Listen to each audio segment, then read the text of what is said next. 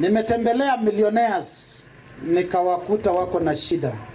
Ni millionaires lakini watoto hawachali kuchunga mali ya wasasi Hiyo kitu imenisumbua mpaka nikasema mali hizi ni za nini?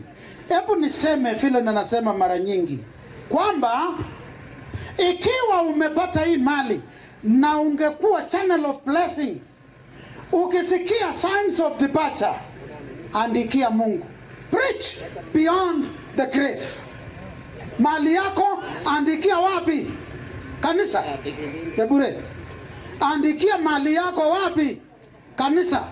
Unajua kuna magonjwa yanakupata, unasema tangu magonjwa inishike, hii ya siku hizi nasikia waja Nimekuwa nikikonjeka nikipona, nikikonjeka nikipona, lakini hii eh, E, haitaniwacha. Hapo ndipo wakati unaandikia Mungu mali.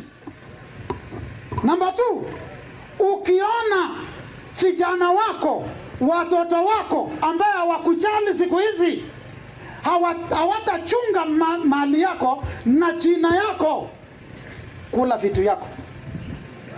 Halo, kula vitu yako, usiwachie mali yako majambazi.